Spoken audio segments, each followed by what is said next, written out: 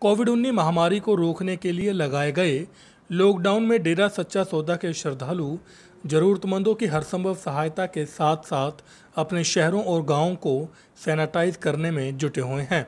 इसी कड़ी के तहत डेरा सच्चा सौदा के अनुयायी पूरे देश में वैश्विक कोरोना महामारी में अपनी सेवाएँ निरंतर दे रहे हैं। ऐसे में शाह सतनाम जी परम सुखाश्रम कलोट, मुंबई, पुणे में डेरा अनुयायियों ने कोरोना वायरस की महामारी में आश्रम के साथ गाँव में सैनिटाइज किया। आपको बता दें कि मुंबई आश्रम में सेवादारों द्वारा पिछले कई दिनों से आसपास के गाँव में सैनिटाइज करने की सेवा की जा रही है।